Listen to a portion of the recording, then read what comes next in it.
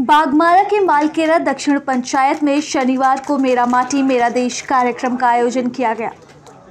आयोजित कार्यक्रम में देश के लिए शहीद हुए सेना व पुलिस जवान, स्वतंत्रता सेनानियों को श्रद्धांजलि अर्पित की गई। कार्यक्रम में मुख्य अतिथि के तौर पर मौजूद धनबाद उपायुक्त वरुण रंजन मौजूद रहे। इस दौरान उनकी मौजूदगी में पंच प्राण शपथ वसुधा वंदन व वीरों का वंदन किया गया। अंत में राष्ट्रगान के साथ ध्वजारोहण किया गया। शहीद शंभू के पिता गिरीश महतो ने पूरे मान सम्मान के साथ तिरंगा फहरा कर सलामी ली।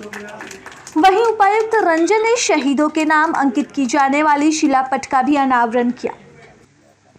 इस कार्यक्रम में पाँच मुख्य कंपोनेंट हैं। पहला कंपोनेंट है, जो भी उस पंचायत के हमारे पूर्व स्वतंत्रता सेनानी रहे हैं है या जो देश के लिए जिन्होंने सर्वोच्च बलिदान दिया है, वो वीरों के शहीद में शिलापट का अनावरण किया जाना, साथ ही साथ वहाँ पर जो है सो पौधारोपण किया जाना।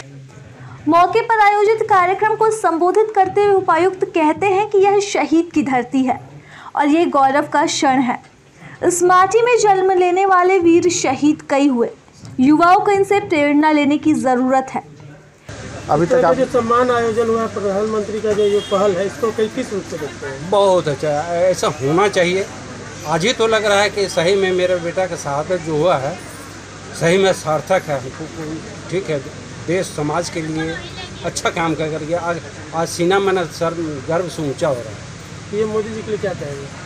वो नंबर वन का प्रधानमंत्री उनके लिए क्या कहें? उनका सोच ही गजब है। हमेशा देश के लिए सोचते हैं समाज के लिए सोचते हैं। वैसा आज कभी तक कोई किसी प्रधानमंत्री ने नहीं सोचा। कार्यक्रम के अंत में शहीदों के नाम पर पौधारोपण भी किया गया। धनबाद करता से सुमन कुमार सिंह की report. Prabhat Khabar dot com विश्वास वही रफ्तार नहीं